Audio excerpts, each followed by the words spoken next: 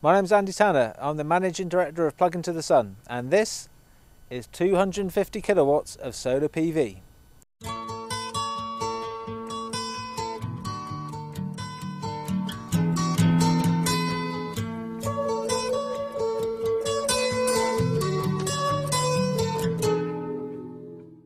I should like to welcome you here to Chapel Amble.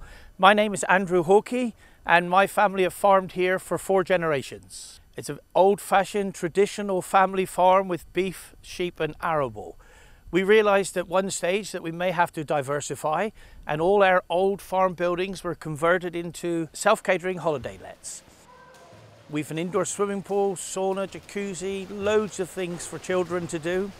It's a lovely unspoilt area here just off the North Cornish coast. Here at the Olde House, we realised that we would have to do something to offset our crippling energy costs. And it was last year at the Royal Cornwall Show that we first went by the renewable energy tent, and that stimulated a bit of interest in my sons. And we've spent six months now researching, looking around, finding what's available, one or two changes of rules with the government. But in the end, we have put up 250 kilowatts of solar panels, and we hope that that's going to be a big help in keeping our business costs lower than they might be in the future. This is a project here that we financed ourselves. We've tried to use everybody locally. Plug into the Sun have been our main contractors. Western Power have been a big help and Cornwall County Council and our local council department have absolutely fallen over themselves to help us. My two sons have taken a very active part in the negotiations, the preparations and everything that we've been doing for the last nine months. And here on site, they've been working from dawn to dark every day to just make sure that this project finishes on time. Hello, my name is Sean Hawkey from the Olde House here in Chapel Amble. Uh, thanks to the government's feed-in tariff, we've been able to install this 250 kilowatt PV array. So this installation will feed straight into our existing fuse box to be used here on site in the swimming pool and all the cottages.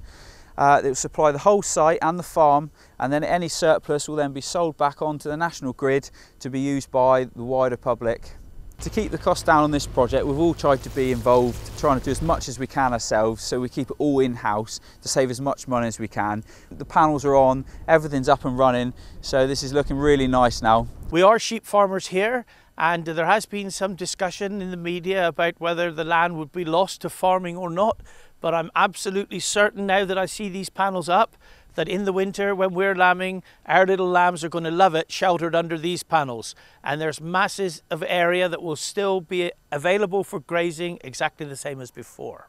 One of the things that we've also done on the farm is that we've been involved with Natural England and we belong to their higher level scheme which means that this whole farm is open to the general public. You can come here, you can walk around, you can look at everything. Once a week on Wednesday nights, I give a farm tour for everybody who's here on holiday. These panels now will be a key part of that tour.